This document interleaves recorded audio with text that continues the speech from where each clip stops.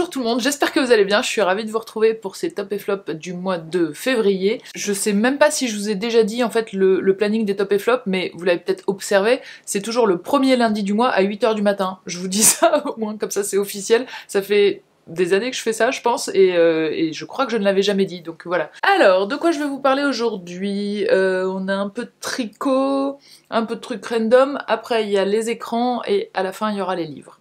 Alors, euh, je vais commencer par ce que vous voyez derrière moi. Tada Je tricote enfin un nouveau pull, et je peux dire que vu que j'ai pas commencé il y a très très longtemps, je suis assez contente parce qu'il avance assez vite. Dans un monde idéal, j'aimerais bien qu'il soit fait en allez, 2-3 mois, donc avant l'été. On croise les doigts. C'est un patron de petite knit qui s'appelle Fortune Sweater et qui est très très cool parce que vous le voyez un tout petit peu là mais je vais vous mettre un plus gros plan. Euh, régulièrement il y a un petit motif en ce qu'on appelle dentelle en tricot c'est-à-dire euh, qui est fait à partir de trous. Et du coup selon où vous faites le trou dans votre rang de tricot, et eh ben ça peut faire un motif. Donc là c'est un petit comme un petit losange régulièrement. Et c'est une nouveauté, je n'avais jamais fait ça euh, dans un pull. C'est le même patron que le pull que je me suis fait, que je vous ai montré la dernière fois, euh, gris et blanc rayé. Sauf que comme je trouvais que c'était difficile à l'époque, j'avais enlevé les petits losanges en trou en me disant, euh, bon, trop dur, fais juste le pull comme ça. Et maintenant que je l'ai fait une fois et que il me va bien et que j'aime bien la forme et tout, je me suis dit ok, petit à petit on va essayer de faire de plus en plus dur. Donc ça faisait un moment que je pensais à faire du jacquard, vous savez c'est les pulls un peu euh, des, pays du Nord où il y a comme un dessin, comme un motif Souvent c'est sur euh, le haut du pull avec des, différentes couleurs. C'est pas encore pour moi pour cette fois-ci. Là j'ai fait des petits motifs de dentelle et j'ai déjà une idée pour le prochain qui serait sans doute peut-être un gilet, mais là où il y aurait beaucoup plus de motifs, un peu plus partout, un peu plus compliqué je pense. Donc euh, voilà, je suis sur cette difficulté là où j'essaye de moi m'améliorer et je suis assez contente du résultat. Je suis très contente de la couleur aussi, c'était un essai et c'est une laine qui est très très chaude, c'est la laine Ombelle de chez Fonty. Donc avoir cette couleur pour l'hiver justement, je trouve que bah voilà, ça ramènera un petit peu de, fraîcheur. Il est tricoté en rond et euh, je vous conseille pas ce, patron si vous êtes vraiment vraiment euh, débutant débutante parce que il y a plusieurs difficultés techniques, notamment comprendre. Vraiment, euh, j'ai passé beaucoup de temps à analyser le patron pour comprendre où était chaque losange, comment on les faisait, etc. etc. Donc euh, voilà, mais si vous avez un petit peu d'expérience et que ça vous intéresse, n'hésitez pas à me dire. Et par rapport à mon gilet aussi, le, prochain essai, euh, avec plein de... c'est des motifs euh, dentelle sur le devant et le derrière, il y a d'autres euh, choses sur les, sur les manches et je le trouve très sympa. Et je voulais savoir si ça vous intéresserait. Déjà, je me demande si je vais pas en faire un kit pour mon site de tricot Tricool, c'est-à-dire vous achetez la laine si vous avez besoin, les aiguilles et il y a des vidéos avec pour vous expliquer le pas à pas. Donc j'hésite entre faire un kit comme ça ou faire aussi un kit, mais où au lieu d'avoir des vidéos euh, préétablies des techniques, on ferait des, je ferais des lives, euh, genre euh, tous les 15 jours ou toutes les 3 semaines, pour bah, voir comment vous avancez, comment, où vous en êtes, si vous avez des questions techniques, etc. Donc dites-moi si ça, ça peut vous intéresser, d'être accompagné pour essayer d'aller sur un niveau un peu plus dur de tricot parce que vous avez déjà fait des pulls en rond mais un peu simple et que là vous aimeriez apprendre bah, par exemple les motifs de dentelle, lire un diagramme et tout ça, euh, n'hésitez pas à me dire soit ça, soit faire des vrais ateliers euh, à Lyon où on se retrouve toutes les 3 semaines par exemple ou tous les 15 jours et euh, bah, on papote, on se montre ce qu'on a fait, où on en est et on, tricote ensemble. Voilà, c'est deux choses que j'ai un peu en tête, je sais pas exactement sous quelle forme le faire, si vous avez des idées, des suggestions ou des des, choses qui se font chez vous, des clubs où vous allez et vous trouvez que le système est bien, n'hésitez pas à me le dire et à m'expliquer un peu comment ça se passe dans les commentaires. Toujours sur le tricot, j'ai un petit concours pour vous. Alors ce petit concours, c'est pour gagner un set d'aiguilles à 10 clics qui sont mes préférés, qui sont fabriqués en Allemagne et qui sont vraiment trop cool. Je vais l'ouvrir attentivement parce que c'est celui-ci que vous allez pouvoir gagner. Le concours ce sera sur Instagram euh, en ligne en même temps que cette vidéo. Ça se présente comme ça. C'est des aiguilles circulaires interchangeables. C'est des aiguilles métalliques. Ça va de 3,5 au 8. Donc vous avez la tête de l'aiguille qui sont assez courtes et ça c'est exprès pour faire des petits diamètres, par exemple les manches. Et derrière vous avez une pochette avec des câbles de différentes longueurs, donc vous pouvez, euh, une fois que vous avez fini votre col et que le pull s'élargit, bah vous changez juste le câble sans changer les aiguilles, et etc. etc. Et moi c'est vraiment des aiguilles que j'adore. Je les vends sur mon site Tricool également, et euh, là il m'en reste 7, J'en ai vendu deux la semaine dernière. Après cela, je pense pas que je vais en restocker. Il existe les mêmes, mais je les ai plus sur mon site, je les avais avant, les mêmes en long parce que quand on tricote euh, pour le coup un diamètre un peu plus grand comme le pull, on est un peu plus à l'aise avec les aiguilles en long. Et donc euh, je vous ferai gagner ça, plus les embouts longs, je les ai que en euh, taille 4,5 et c'est à peu près la taille que je fais le plus souvent pour mes pulls euh, d'aiguilles. Donc euh, vous aurez ça et l'emboulon aussi euh, juste d'une seule taille et après éventuellement si vous savez que vous vous tricotez très très souvent en 4, bah, vous achetez juste l'emboulon 4 et comme ça vous avez quand même les câbles, les aiguilles et tout ça. Donc rendez-vous sur Instagram, mon compte Marion Blush et je vous souhaite bonne chance. Ensuite, on change de sujet complètement. Euh, j'ai découvert une appli qui s'appelle The Sorority. Il y a beaucoup beaucoup de pubs dans le métro en ce moment à Lyon. Euh, je sais pas si c'est pareil dans d'autres villes. Je me demandais ce que c'était parce qu'il n'y a rien d'expliqué sur les pubs. Il y a juste The Sorority avec le logo que vous avez peut-être vu passer. Et en fait, euh, c'est une appli d'entraide qui est destinée aux femmes et qui est qui géolocalise. Et en fait, si vous avez peur dans la rue ou si vous avez un problème ou quoi que ce soit, vous pouvez lancer un un appel et ça contacte les 50 personnes les plus proches de vous, donc vraiment a priori dans votre quartier, surtout si vous êtes dans une grande ville, mais ça marche aussi dans les petites villes, ça marche aussi en campagne, etc. Et euh, ça leur envoie un message pour qu'elles puissent euh, bah, intervenir ou désamorcer une situation, évidemment sans se mettre en danger non plus. Euh, il y a tout un, un système de coach de coaching, etc. pour s'entraîner, pour savoir comment réagir, pour euh, voilà, c'est pas non plus euh, intervenir et être euh, avoir un problème soi-même, c'est très bien organisé. Et du coup, je l'ai téléchargé. Je trouve ça à la fois très cool, très chouette et ça peut aider peut-être à avoir moins peur. Et en même temps, je trouve ça très triste que ça doive être une initiative d'une femme qui a créé cette appli parce que bah, c'est un peu triste de se dire que hum, on est tellement on peut avoir tellement peur dans la rue ou euh, être confronté à tellement de violence que il faut que nous on se charge de notre sécurité entre nous. En fait ça ne devrait pas être. Donc je pense que c'est nécessaire et c'est important mais je trouve ça triste que ça doive exister. Malheureusement c'est le cas pour l'instant. Donc euh, peut-être qu'un jour qui sait, euh, ça n'aura plus lieu d'être, mais euh, voilà, donc si jamais euh, vous voulez rejoindre cette application, et eh ben l'inscription est très facile, c'est gratuit évidemment, il faut juste que vous puissiez être localisé, et, et, puis il y a un système d'alerte sonore, des choses comme ça, et d'entraide aussi, pas forcément si vous faites agresser, mais pour des situations un peu plus générales. Bref, je vous laisse aller voir sur l'appli, tout est expliqué, c'est très bien fait. Ensuite, alors oui, ça c'est complètement euh, secondaire, mais c'est juste parce que ça me fait plaisir, donc je vais partager. Je sais pas si vous voyez derrière moi, j'ai euh, réinstallé un petit peu le, meuble qui est là, et j'ai mis notamment des livres... Euh, alors ça peut être les livres que j'aime bien, mais c'est surtout, comme vous pouvez le voir, organisé par couleur. Attention, je vous montre derrière moi. Donc il y a une case euh, un peu bleu-vert, une case blanche, là c'est que des BD, une case violette et une case rouge. Et la case où c'est tout mélangé derrière moi, c'est la case de euh, ceux que j'ai à lire, que je viens d'acheter et que j'ai à lire.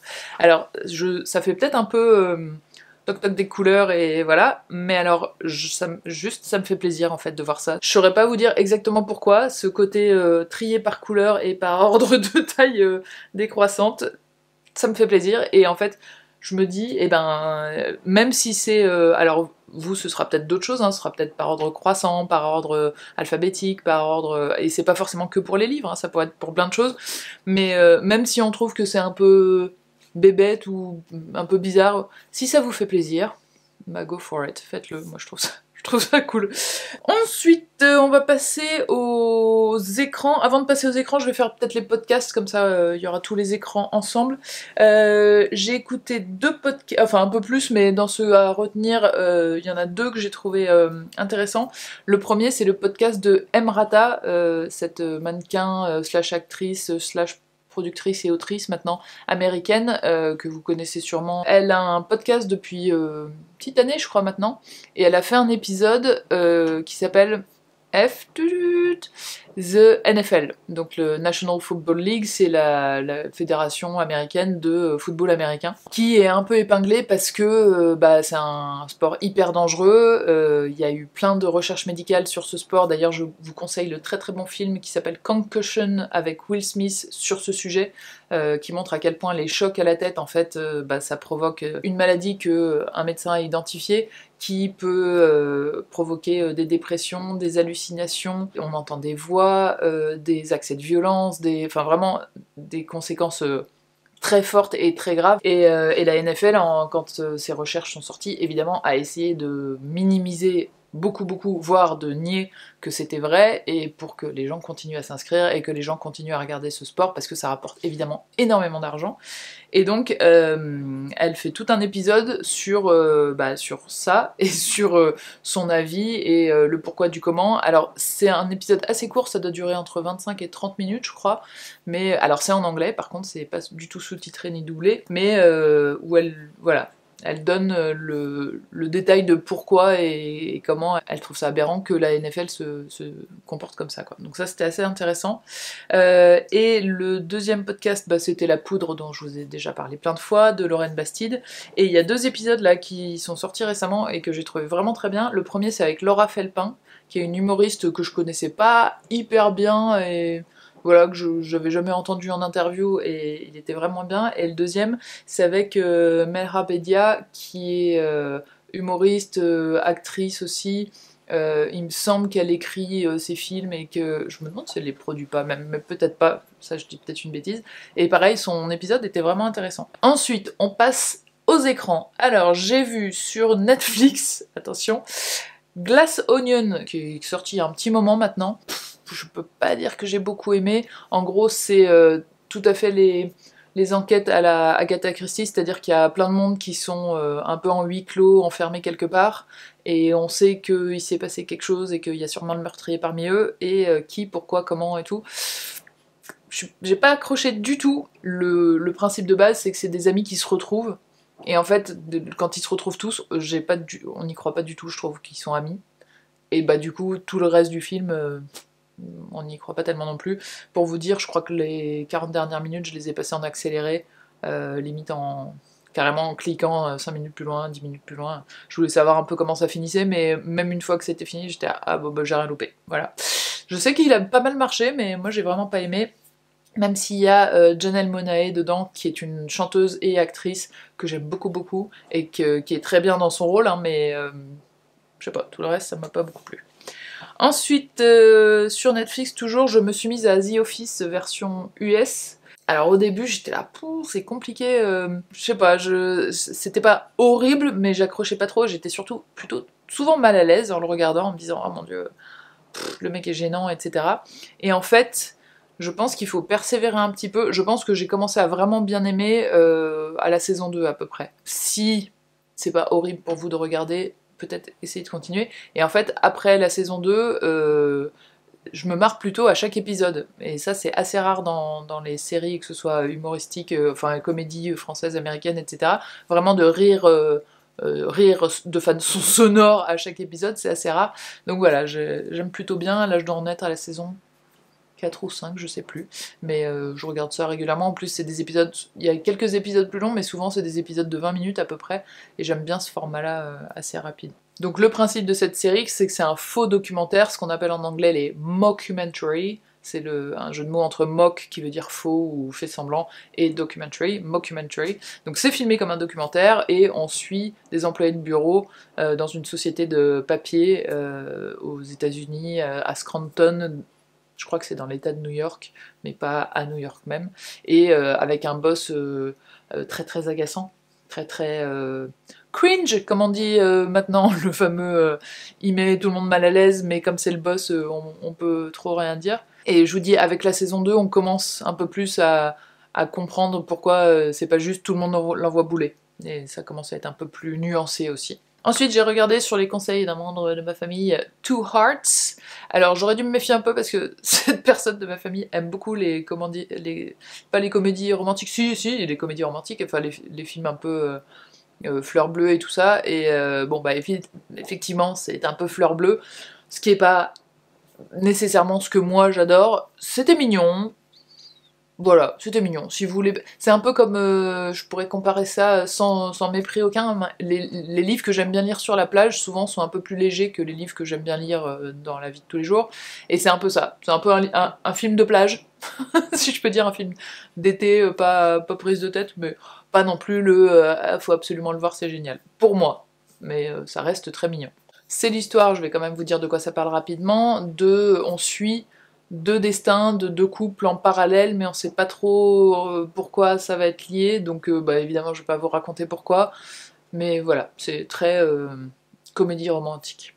Ensuite j'ai commencé une série, je pense que vous m'aviez conseillé il y a longtemps, Grace and Frankie, avec notamment Jen Fonda et son acolyte c'est Lily Tomlin. J'avais regardé un épisode il y a longtemps et je vais pas accroché plus que ça, et là je me suis dit allez, continue parce que quelqu'un me l'a reconseillé parmi vous. Et donc j'ai continué. Et en fait, j'aime beaucoup. Je crois que je suis à la fin de la saison 1 ou au début de la saison 2, tiens, je sais même pas. Euh, mais je regarde ça avec beaucoup de plaisir. Pareil, les épisodes sont pas hyper longs. Et puis euh, elles sont rigolotes. Et je trouve que ça fait vraiment du bien de voir une série où tous les, quasiment tous les protagonistes euh, ont 70 ans. Euh, et, qui peuvent s'amuser, être second degré, être sérieux, qui a une palette un peu d'émotions, tout ça, euh, qui, est, assez mignonne. Alors tout n'est pas parfait, hein, mais dans l'ensemble, c'est plutôt agréable. C'est deux femmes euh, de 70 ans dont qui viennent d'être quittées par leur mari et qui vont se retrouver à habiter ensemble et qui au départ sont pas forcément elles se connaissent, elles sont copines et tout, mais elles sont pas forcément meilleures amies. Et puis en fait, on va suivre leurs aventures de elles, de euh, leurs ex-maris et de leurs enfants aussi à San Diego, me semble-t-il. Et la dernière chose sur Netflix, c'est que j'ai fini la série euh, Crazy Ex-Girlfriend, dont je pense que je vous ai parlé plusieurs fois. alors, pareil, elle est pas parfaite, il y a beaucoup d'épisodes dans la dernière saison où j'étais à...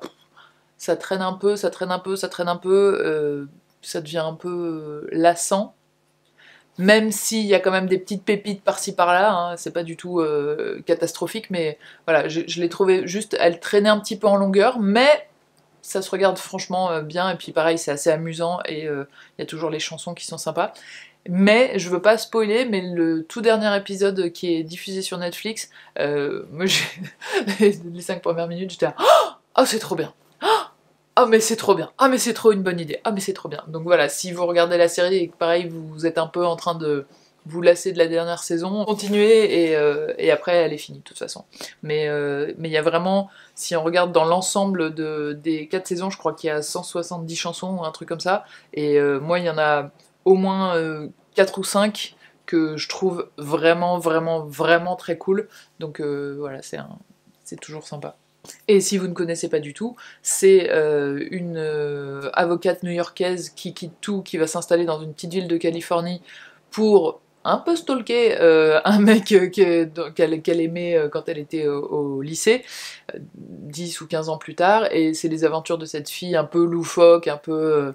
un, peu rigolote, mélangée avec un peu de comédie musicale. Et pareil, le premier épisode, j'étais là, hmm, c'est très bizarre. Et en fait, il y a vraiment un, je sais pas, ils ont réussi, elle a réussi, parce que c'est elle qui a créé la série, à, faire vraiment un univers assez euh, sympathique et, que moi j'aime beaucoup. Le tout, bien sûr, saupoudré de petites phrases féministes comme, on les aime, et euh, ça donne un résultat assez cool. Au ciné, j'ai vu Petite, alors je l'ai vu par erreur parce que visiblement il y a un documentaire qui s'appelle Petite qui est sorti en Belgique et c'est ça que je voulais voir et j'ai cru que c'était ça qui était sorti au cinéma et pas du tout.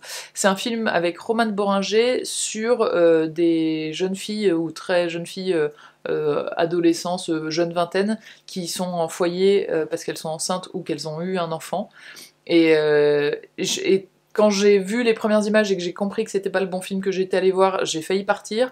Et puis je me suis dit, bon bah quitte à être là, j'aime bien Roman Boringer, donc on va rester. Et j'ai bien fait, pareil, euh, très nuancé, très joli. Les acteurs et les actrices, les seconds rôles, euh, tout ça sont hyper bien, vraiment vraiment euh, très bien choisi. Et l'histoire est, bien aussi. Bon, c'est pas pour le coup, c'est pas du tout la petite comédie romantique légère, hein, mais c'est pas non plus euh, complètement plombant, plombant pardon, euh, euh, et il y a des scènes tellement jolies euh, au, sens euh, c'est mignon, c'est émouvant, c'est euh, juste avec un tout petit geste, ça fait passer plein d'émotions et tout. J'ai trouvé ça très bien. Je sais plus qui est la réalisatrice, je vous le mettrai quelque part. Et la deuxième chose au ciné, alors c'est un festival à Lyon qui s'appelle Écran Mixte, qui en est, je crois, à sa 13e édition. C'est tous les ans, à peu près à cette période-là, et là, il, c'était du 1er mars et ça dure jusqu'au 9 mars, donc il y a encore quelques jours. Et c'est un festival euh, au cinéma de euh, courts-métrages et longs-métrages internationaux euh, sur des thèmes queer. Donc il y a plein plein plein de films et de sessions de courts-métrages, plein d'animations, c'est-à-dire le film suivi d'un débat, le film suivi d'une présentation avec réalisateur, réalisatrice, etc. Et, et, il est vraiment bien ce festival, donc si vous êtes autour de Lyon, et eh ben n'hésitez pas euh, à aller checker. Donc quand sort cette vidéo, il reste plus très très longtemps, mais il reste quelques projections qui sont euh, intéressantes. Et enfin, à la télé est passé sur France 3 ou France 5, je ne sais plus, mais je vous le remettrai quelque part, le documentaire qui s'appelle La fabrique du mensonge, et alors là, eh, il est vraiment vraiment à voir. Il suit euh, l'affaire Johnny Depp Amber Heard qui a fait grand bruit dans les médias et notamment sur les réseaux sociaux l'année dernière et qui était, euh, enfin, où, c'est marrant parce que, enfin non, c'est pas marrant, mais l'opinion publique euh, s'est fait un avis qui est assez loin de, la réalité. Et en fait, le, ce documentaire, La fabrique du mensonge, raconte exactement pourquoi et exactement comment ça a été voulu, comment ça a été calculé, comment ça a été euh, fait par notamment la défense de Johnny Depp et Johnny Depp aussi. C'est très impressionnant de se dire que hum, c'est aussi dans leur camp, c'est aussi bien organisé, aussi bien ficelé, aussi euh, suivi, soutenu, etc. Donc euh, vraiment, je vous invite à le regarder parce que euh, entre les bribes qui sortaient, où il y a eu même des, des mèmes qui ont été créés en ligne, etc., ça donne pas du tout l'impression de ce qui s'est passé au final. Et enfin, on va finir avec le point lecture, n'est-ce pas? Alors, le premier, le titre c'est I'm glad my mom died, donc je suis heureuse que ma mère soit morte. C'est un titre choc, ça c'est sûr, mais en fait quand on lit son livre euh, en entier, on comprend pourquoi elle a mis ce titre, et euh, c'est une euh, ancienne actrice de Nickelodeon qui est un peu l'équivalent de Disney Channel avec des séries, vous savez, c'est les séries qui sont jouées par des enfants, des adolescents, etc. Et elle, elle raconte sa vie de euh, toute petite, sa famille, comment ça se passait chez elle, etc. Et l'image qu'elle avait à l'extérieur, et euh, le fait de travailler en enfant acteur, euh, comment son lien avec sa mère, du coup particulièrement, puisque ce livre est un peu sur ce sujet-là. Et c'était hyper intéressant. Je crois pas qu'il soit sorti en français pour l'instant, mais vraiment, il est très bien. Et je me suis rendu compte que j'aimais beaucoup, beaucoup lire des autobiographies sur des gens du, du spectacle, du cinéma, etc. Parce que on n'imagine pas du tout en fait la nuance qu'il y a aussi dans leur vie. C'est un mot que j'aime bien en ce moment, la nuance, mais c'est vraiment ça. Elle, euh, enfant star, euh, nanana, et, et l'envers du décor est vraiment. c'est pas juste parce qu'on joue dans des films à Hollywood qu'on est heureux, clairement. Et donc ça m'intéresse beaucoup. Et en fait, je me suis fait cette réflexion parce que plus tard dans le mois, mais je vais le mettre en même temps parce que c'est un peu proche du sujet, j'ai lu l'autobiographie de Demi Moore qui s'appelle Inside Out, je sais pas si elle est traduite en, français ou si elle a un autre titre en français, mais je vous le mettrai euh, si c'est le cas. Et, euh, ben c'est exactement pareil, c'est les coulisses de son enfance, son adolescence, euh, le début de sa carrière et jusqu'à maintenant quand elle a presque 60 ans. Et, et bah Demi Moore, je l'aimais bien, mais voilà, j'avais pas trop d'avis. Trop Il y a certains films qu'elle a fait que j'ai trouvé super cool et puis J'en ai pas vu des millions non plus, mais voilà. Et, euh, en fait, euh, elle a une vie euh, un peu folle, quoi, et notamment des parents problématiques on peut dire, c'est le, le moins qu'on puisse dire. Donc, donc voilà, j'ai trouvé ça très très intéressant et je pense que c'est un genre que je vais essayer de chercher un peu plus parce que j'en ai pas lu des millions des films, des, des, livres de ce style-là, mais j'ai trouvé ça vraiment très intéressant et ça se lit en plus bah voilà, il y a, toujours un peu des références à soit d'autres acteurs, soit des trucs de pop culture, des films qu'on a vus et tout, donc ça, paraît très proche de nous, euh, même si évidemment on ne connaît pas cette personne, mais je trouve ça très très euh, euh, agréable à lire en fait. Ensuite, j'ai lu deux BD de Alison Bechdel. Je sais pas si vous la connaissez. Elle est connue notamment pour le fameux test de Bechdel. C'est un, un, test, euh, c'est pas vraiment un test, mais en gros, c'est une lecture féministe du cinéma où son test à elle, c'est est-ce que dans ce film, la fin d'un film que vous avez vu, vous vous dites est-ce que dans ce film, il y a deux femmes dont je connais le nom qui, dans une scène, se parlent et qui, dans cette discussion, ne parle pas d'un homme.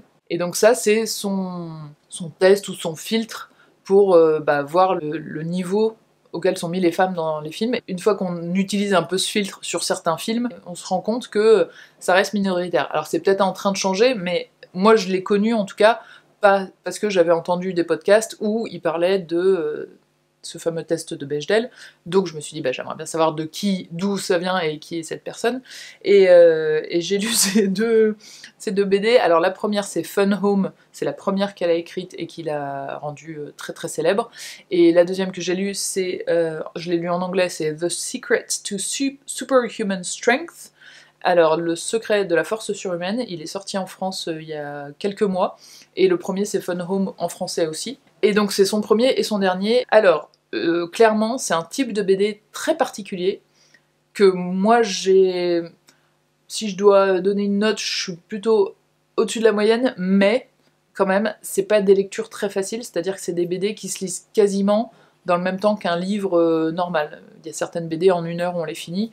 Là, il y a beaucoup de textes, et c'est du texte euh, plutôt euh, on sent qu'elle elle a été entourée de gens avec beaucoup de culture, il y a beaucoup de mots euh, en anglais que clairement j'avais jamais vu, c'est un niveau de langage assez euh, élevé. Il y a beaucoup de, références à d'autres auteurs, à de la littérature, peut-être un peu à de la philosophie, peut-être un peu à de la psychologie aussi. Enfin, c'est vraiment un objet bonjour à mon voisin.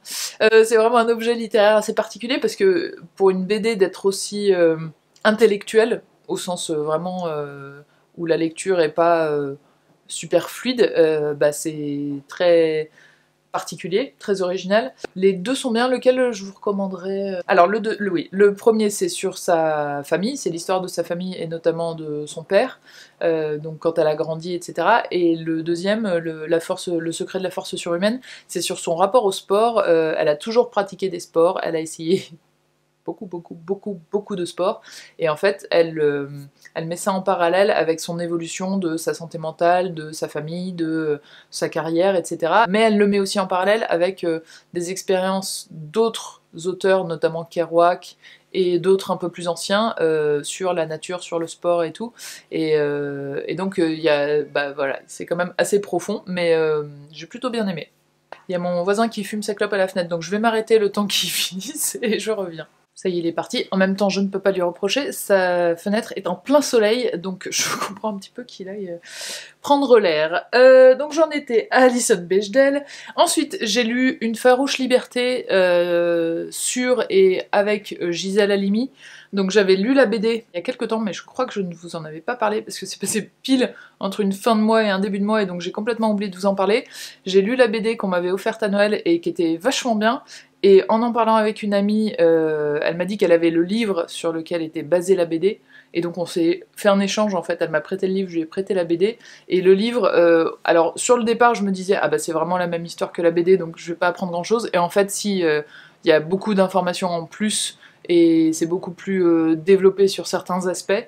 Donc c'est assez complémentaire, mais selon ce que vous voulez, euh, vous n'êtes pas du tout euh, obligé de prendre les deux. La vie de cette femme qui était donc euh, une grande avocate qui s'est battue pour notamment le droit à l'avortement, le fait de classer les viols comme crime et, non pas comme délit, qui a défendu les gens qui, qui, ont subi des crimes de guerre, des choses comme ça. Vraiment une femme qui dans les années 70-80, mais qui a continué toute sa carrière à, défendre et à militer pour des causes hyper importantes en France et qui a vraiment changé et la société et les lois, donc c'est vraiment impressionnant. Ensuite, j'ai lu un texte qui s'appelle Dire Wele de Chimamanda Ngozi Adichie. J'espère que je le dis bien, euh, qui est nigériane. Et en fait, euh, c'est un texte qu'elle a écrit. Euh, donc elle, elle avait écrit déjà des essais féministes et d'autres livres avant. Et un jour, elle a une amie qui allait avoir une fille qui lui a demandé comment élever sa fille dans une perspective féministe. Et Chimamanda lui a écrit une lettre. Et en fait, elle a publié cette lettre et elle est composée de 15 suggestions de tu devrais faire ci, tu devrais faire ça, tu devrais faire ci, peut-être comme ci, peut-être comme ça, etc. C'est très très facile à lire, le livre est très très fin et très très court. J'ai beaucoup aimé, il existe en français et c'est le même titre, c'est Cher Ija Awele. Et, euh, et c'est marrant parce qu'elle l'a écrit en n'étant pas encore mère et le temps qu'il soit publié, elle, elle, était devenue mère. Et donc elle dit, bah voilà, j'espère que mes conseils que je donnais en... Parce que tant qu'on n'est pas mère, on a l'impression que c'est très facile, etc. Et euh, elle, elle s'est dit, bah je vais me me suivre mes propres suggestions maintenant que je le suis aussi euh, pour essayer de bien faire, mais je trouve ça vraiment bien. Ensuite, les deux derniers euh, ont des euh, côtés un peu olé olé, donc je vais en parler de façon assez générale, mais voilà. le premier, c'est une BD qui s'appelle Itinéraire d'une garce. Euh, de Céline Tran et au dessin, je me souviens plus son nom, mais les dessins sont vraiment très très beaux. Je pense, je sais pas, je pense que c'est à l'encre, mais je suis pas sûre, mais vraiment euh, j'ai beaucoup aimé les dessins. Et donc c'est euh, l'histoire d'une femme qui s'ennuie un peu dans son couple, qui euh, ils ont ils doivent avoir la petite cinquantaine et euh, ils ont une fille d'une vingtaine d'années. Ils sont euh, pas en désaccord avec son mari, mais il n'y a plus vraiment la flamme, on a l'impression. Et un jour, par accident, elle se rend compte que qu'il la trompe. Et donc ça la, elle remet un peu en question toute sa vie, son rapport à, bah, son mariage, à son corps, à la séduction, à ses attentes, à ce qu'elle veut être, ce qu'elle veut faire, etc. Et donc dans un quelque chose de très et sur euh, la corporalité et sur euh, la sexualité. Mais je l'ai trouvé vraiment bien. Et l'histoire aussi, euh, j'ai trouvé pas mal. Et le deuxième, c'est Homme de Emmanuel Richard, où là c'est un roman, et Homme au pluriel, et donc elle, la, narratrice parle de deux périodes dans sa vie. La première où elle avait rencontré un homme euh, en faisant du woofing, c'est-à-dire en étant bénévole sur une ferme. Je suis désolée, il y a ma machine à laver qui tourne, j'espère que ça fait pas trop de bruit. Euh, en étant volontaire bénévole euh, dans, une ferme au Pays de Galles, et un homme avec une virilité ou une masculinité très plutôt toxique et voire violente. Et la deuxième partie, c'est 20 ans plus tard, elle parle d'une autre histoire avec un homme qu'elle a eu par la suite, où c'est tout le contraire vraiment euh, où c'est euh, quelqu'un de très doux, très réfléchi, très à l'écoute, euh, où vraiment il n'y a, rien du tout de toxique et, y a, et donc c'est le parallèle, un peu le parallèle, mais la comparaison peut-être entre ces deux relations-là et l'évolution de la narratrice et sa relation aux hommes justement ou au couple et, tout ça. Et les, je l'ai trouvé très bien dans le sens où il y a des passages où vraiment y a, on sent par exemple sur le harcèlement de rue elle s'énerve, et là il y a une page hyper énervée, euh, mais euh, très belle de façon littéraire, et puis après ça se recalme, elle repart dans l'histoire, et il y a deux trois moments comme ça dans le, film, dans le livre, pardon, qui sont... Euh, où on a l'impression qu'elle est presque à côté de nous, et qu'il y a tout qui sort très vite, et après, hop, ça se ça recalme et on repart dans l'histoire. Voilà, alors ces deux derniers là, c'est clairement à partir de 18 ans. Hein. on, est, on est dans quelque chose d'assez graphique et d'assez explicite, on va dire. Euh, et ben voilà, je crois que j'ai terminé. J'espère que ça a pu vous intéresser. Encore une fois, comme tous les mois, je vous invite à me faire vos suggestions. C'est toujours un plaisir de, découvrir des choses grâce à vous. Si vous avez vu ou regardé, ou n'hésitez pas à me partager aussi vos avis. Euh, vous pouvez tout à fait ne pas être d'accord avec moi et c'est ça qui, fait un peu la richesse du truc aussi, c'est que vous, vous avez peut-être vu ou lu des trucs et en aimant pas du tout, donc Allez, on partage. Je vous dis au plus tard, au premier lundi du mois d'avril. Et puis s'il y a une vidéo qui se glisse entre temps, euh, bah, peut-être euh, à dans cette vidéo. Je vous souhaite une très belle journée, une très belle semaine. Et je vous envoie plein de bonnes vibes. Ciao